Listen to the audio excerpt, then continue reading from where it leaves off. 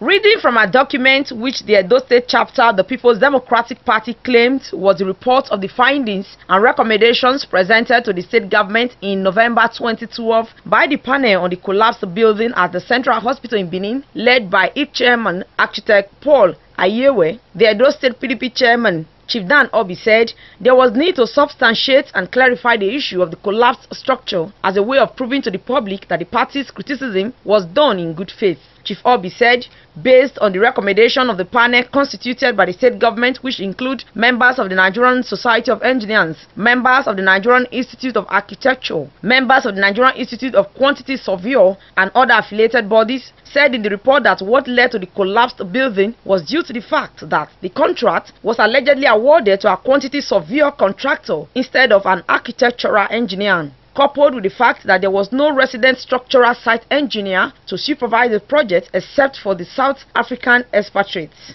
He also alleged that the report by the panel showed that the structure has no solid foundation. The report came out clearly to say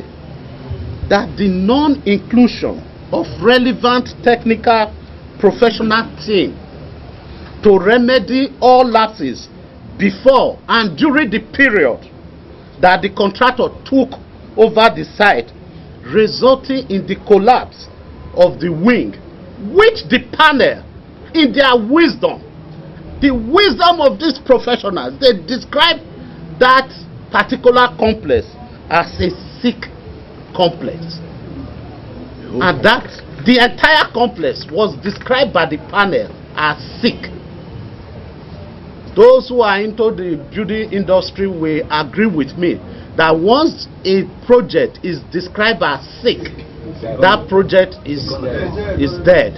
Chief Dan Orbih, while describing the Central Hospital building that has been re-awarded by the state government as a time bomb, urged the state government to demolish the structure in line with the recommendation of the panel. I can even give you copies of the executive summary by the panel where they stated clearly that the government failed in its responsibility in ensuring that this contract was not only awarded to a firm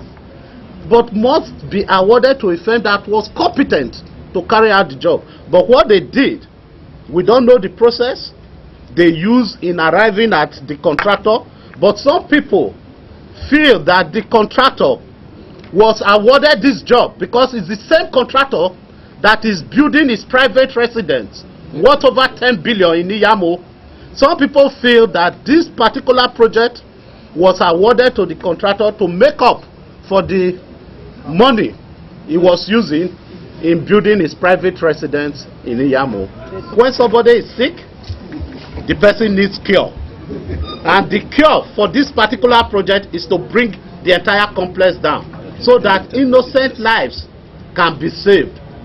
The project failed integrity test. The Commissioner for Information, Louis Odion, could not be reached for comment as he was attending the State Executive Council meeting in Government House. Best Mbiere reporting.